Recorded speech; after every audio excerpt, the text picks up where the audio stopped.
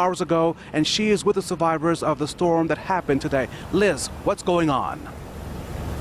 Yeah, Raphael, I'm right near the underbelly of an RV that was pushed on its side by those high winds. According to the National Weather Service, the wind speeds reached up to 136 miles per hour, causing several collapses. Several structures collapsed in the area, garages, homes, even a Starbucks. We reached out to a man who captured video footage of a Starbucks that collapsed. He was inside a restaurant right across from that Starbucks, and he was able to capture that footage as the building went down. He said it all happened within eight minutes. He was on top of the restaurant trying to fix the roof when he got the alert from the National Weather Service that the storm was headed his way. He ran for cover inside that restaurant. That's when he pulled out his cell phone and captured that Starbucks coming down. Uh, he explained to us what he saw, how he felt as that building crashed to the ground.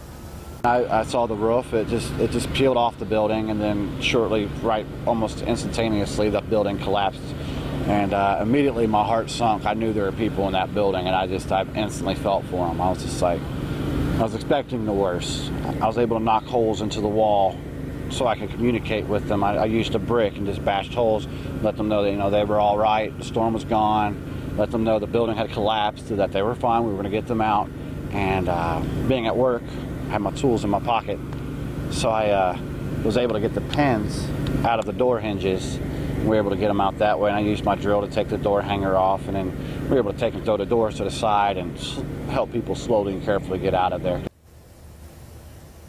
And I spoke to a spokesperson from the National Weather Service who says a confirmed F 3 tornado passed near the back end of that Starbucks. The winds from that tornadoes went through the doors, went through the windows, ripping the roof right off that building. Luckily, the workers inside that Starbucks were able to huddle inside the bathroom for safety until help arrived to help break them out of that bathroom and help them get to safety. But some very, very scary moments out here in Kokomo as people brace for that tornado. Like I said before, the winds up to 136 miles per hour. People just bracing for the worst, but happy that there were no serious injuries out here in Kokomo. Raphael?